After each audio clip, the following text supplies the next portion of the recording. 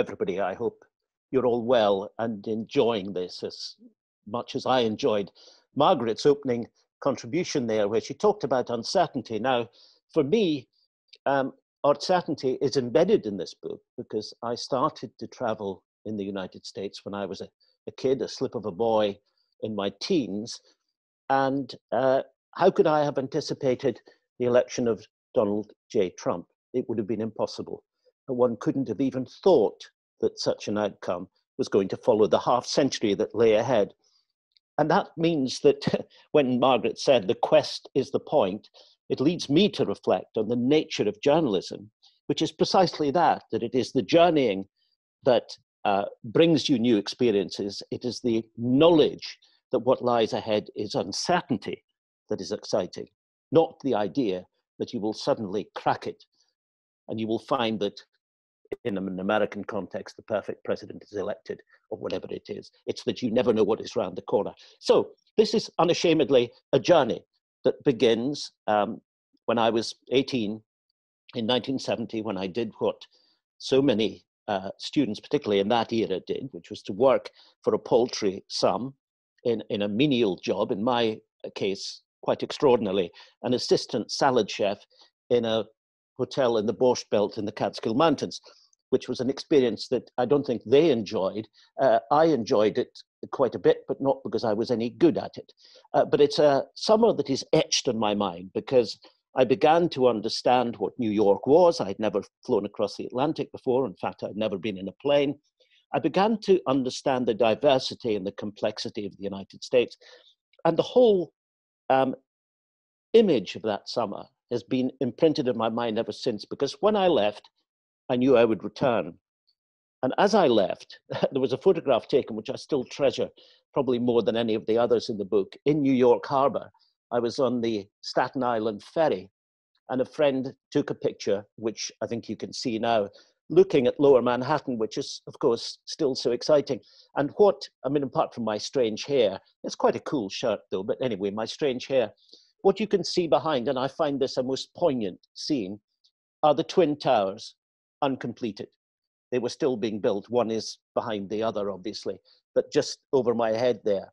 And when I see that and think of what happened in that city subsequently and the cataclysm of 2001, it leads me just to reflect on that extraordinary 50 years that I experienced. It seems remarkable looking back on it that it was half a century, which was for me a process of learning. Of course, it had excitement, absorption in political reporting after I became a journalist in 1975, uh, having spent a year as a student in the States uh, at Syracuse University during Watergate.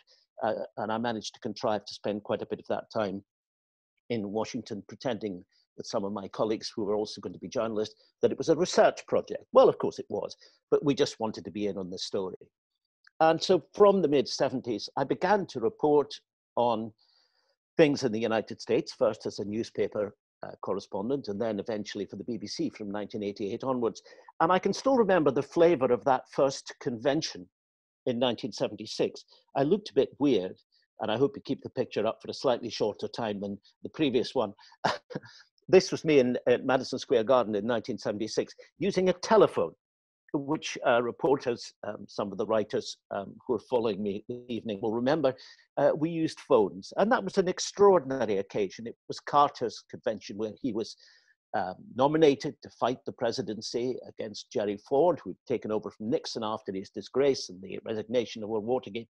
And the idea was that American politics would be cleaned up and that Jimmy Carter would do it. The peanut farmer, as they used to call him from Plains, Georgia, although in fact he'd been a senior officer on a nuclear submarine, but that didn't make such good headlines.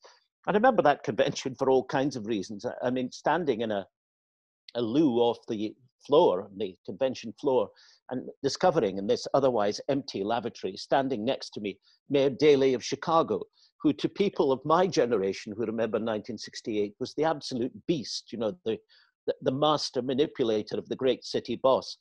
And there he was, and I couldn't think what to say, which was my first supreme journalistic failure. I remember also coming back four years later to Carter's second convention, and that extraordinary moment when Ted Kennedy, who had tried to defeat Carter for the Democratic nomination because he was fed up of him, uh, failed largely because of the legacy of his own personal background, the accident at Chappaquiddick in 1969, in which Mary Jo Kopechne died in his car. But he made an extraordinary speech to the convention. By a variety of chance circumstances, which I don't need to go into here, I'd ended up in the NBC radio box to do some, I don't know, comments on this occasion, and found myself, to my astonishment, sitting next to the president's mother, Ms. Lillian Carter, aged 83, who was, of course, a gracious Southern lady. And I, I felt I was in very, um, uh, well, in, in company which I couldn't really match. But she had one wonderful remark after Kennedy finished this great speech, and there was on a half hour of demonstration, um, you know, his great supporters and so on. And afterwards, when we were off air, she turned around and she said, Why? She said, That was a wonderful speech, a truly wonderful speech. I sure hope nothing happens to that boy. I thought, well, they don't make him like that anymore. But what, what then happened, and the story is a chronology, was of course the Reagan era. And to me, as I try to explain in the book, as somebody who had first seen America during the schism of Vietnam, the loss of faith that had followed the turmoil of the 60s, and then the catastrophe of Watergate, which destroyed faith in the electoral system. Reagan came along, and that famous ad in his second election campaign, It's Morning in America Again in 84. He seemed to have stepped off a rocking chair on a porch in a Norman Rockwell painting, and to say, as the grandfatherly figure, It's okay, I'm here. Now, it wasn't okay. I mean, he was up and down. He was unpopular at the beginning. His second administration from 84 to 88 was mired in scandal, Iran Contra, and so on.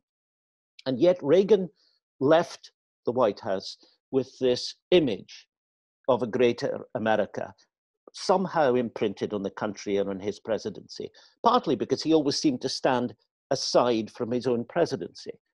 Everybody knew that he wasn't, to put it politely, a master of detail. Uh, when Margaret Thatcher paid her first visit, of course, she was thrilled to have a man who broadly shared her philosophy in the White House. she said to her foreign secretary after their meeting, Lord Carrington, over a glass of whiskey in the government hospitality room across Lafayette Square, Peter, she said, referring to Lord Carrington, and she tapped her head and said, There's nothing there about Reagan. But of course, it was useful to her. He played the game in the Falklands.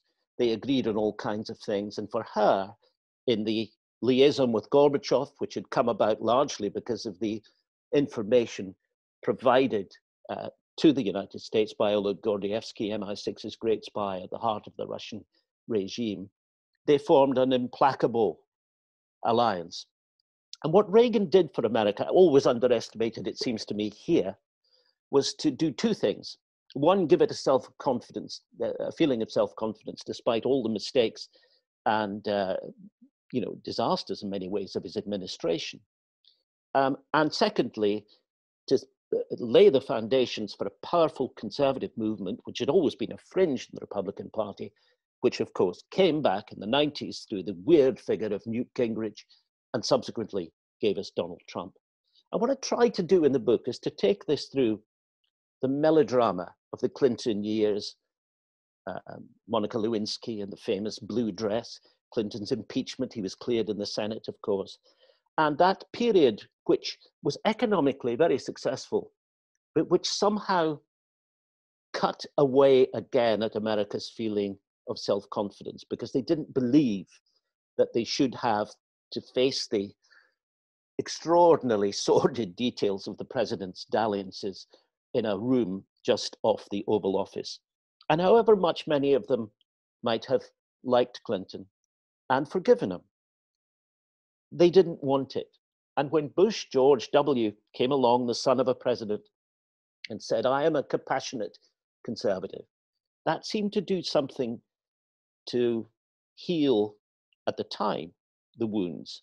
Because on the one hand, he was of a conservative bent, but he was the son of his father, who was a liberal Republican, who didn't believe in sort of wild Gingrichite theories.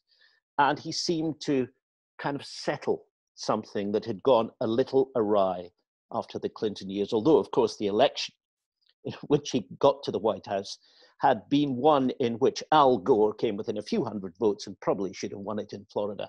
And what I tried to do in the book is just tell the extraordinary melodrama of that time and the election of Bush. And then, of course, 9 11 and the relationship between Bush and Blair, which became one that was uh, uh, almost uh, impossible to describe because it had psychological longing on both sides, which was very hard to put your finger on, but which drew Blair into the ambit, not as some kind of uh, simple minded poodle. I think that's always been a wrong reading of it, but certainly someone who decided fundamentally that his mind was made up and he would be with the Americans wherever they went.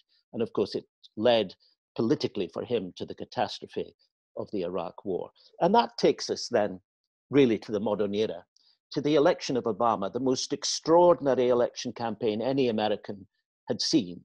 To watch a black candidate coming up as I did those last few days through the deep south to come to Washington and then go home to Chicago, almost certainly as the man who would win. In a country which, when I got there for the first time, the trains had been segregated um, only five years before I set foot in Washington for the first time. When a train came from New York that was heading across the Potomac to Virginia, black passengers had to get out and go to the back cars, which of course were more uncomfortable than the front ones. So we had the Obama period and then the reaction. Then everything that had boiled up in America in the last 45 years seemed to come to some new kind of amalgam of passion in the election of Donald Trump. It was the most remarkable thing, partly because, picking up on Margaret's theme, it was one that really nobody had expected until the last few days. And then he arrived. And what was he? Well, of course, he was the disruptor and one image that I recall with um, very strong feelings from that campaign was an appearance he made with the great disruptor who was working in politics at home when uh, a very familiar figure turned up at rallies and they embraced each other and talked about the way that he, Nigel Farage, and Donald Trump would together slam everything that people had come to recognize as the way things should be, whether it was the United Nations, uh, European Union, uh, international systems of defense and economic cooperation, anything. It was all going out the window. And anyone who thought Trump wouldn't do it and wouldn't carry it through didn't understand this man. I remember meeting and talking with several times during the campaign Anthony Scaramucci, the mooch as we called him, who subsequently became very uncomfortably for four days. He didn't last very long, even by the standard of Trump communications directors, uh, communications head at the White House. And he told me, having excoriated Trump when we first met, he didn't believe he would do it. He didn't believe he should become the candidate. He thought he was a fake and a flake. But he finally came round and was raising money for him. And I saw him about three days before the election. And he said, I think we're going to win. And I said, I don't believe you. And he said, Well, I think we are, although I don't think he believed it either. And he said, as he walked me to the elevator in his office in uh, New York, he said, I'll tell you one thing, though. Donald has assured me that if he is elected, there will be no more tweets. Now, I remember that three or four times a day. So we got Trump, and they got what they voted for. And there is a base there which is extraordinarily um, loyal, which, as somebody put it to me, if you lined up 50 Russian prostitutes on television, not on Fox News, and said, these are women that the President of the United States has you know, slept with in the last two years. I'm not suggesting that anything like that is remotely near the truth. They would say, well, that doesn't matter. We buy that because we buy Donald Trump. We want the guy who's going to go in there and shake things up, and everything else is for the birds. And this explains the conundrum, which I think many people in our country find it very hard to accept, that the evangelical movement, which came into being on the right of American politics in the later years of Reagan uh, in the late 80s, became a formidable political force. Why would someone who is a Bible believing, literal Bible believing, evangelical Christian support Donald Trump. Well, the answer is Trump says, I will appoint the judges who do what you want. Forget about my business dealings. Forget about my private life. Forget about the tape about me touching women just because I was a powerful man. Don't you worry, I will give you the judges you want. And that's enough. But, and here is the but, that base, the base as they all call it in the States, it's substantial, but it ain't a majority. And Donald Trump's popularity, thanks to the virus, has taken a huge hit. I think it was going down anyway, inexorably. And he's got a big fight. We'll leave Joe Biden for another day. But what comes back to me in this story, which took me to the States in 1970, which allowed me to come back as a journalist, as a, a student, as a traveler, a holidaymaker, if you like, uh, was this constant theme of the question of the fragility of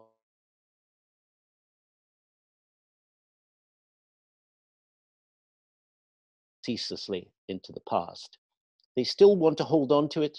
They still believe it's there, but it's fractured and its absence is painful. I'm haunted by words that I've put on the frontispiece of the book, actually, by Alistair Cooke, the master observer of America, at the end of his great series on America for the BBC uh, in television in 1972.